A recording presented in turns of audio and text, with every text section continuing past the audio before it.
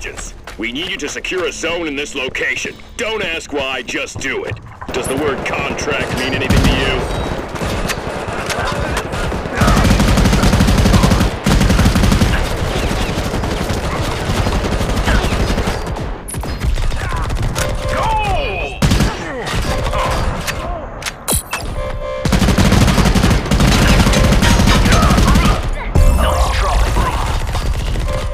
Ugh!